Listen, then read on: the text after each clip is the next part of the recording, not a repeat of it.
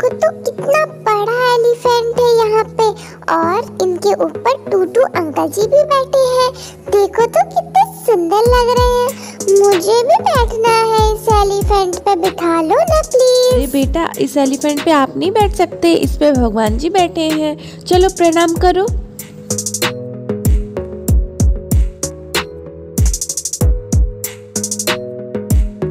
Elephant देख लिया। अब चलो आगे चलते हैं।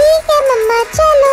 अरे वाह ये तो हॉर्स है कम से कम इस पे ही बिठा दो एलिफेंट पे तो बिठाला नहीं। चलो ना बिठा लो ना प्लीज़ अरे बेटा आप इस पे भी नहीं बैठ सकते। ये तो शो के लिए लगाया गया है। ये असली का हॉर्स थोड़ी है। आप चलना कभी बीच आपको असली वाले हॉर्स पे बिठा लूँगी। वैसे इस वाले हॉर्स पे आपके लिए जगह भी नहीं है ठीक है? अरे मम्मा हॉर्स को छोड़ो। ये फ़िश को तो देखो कितनी बड़ी है। और उस साइड भी एक और है। फ़िश टूटू फ़िश है वाह।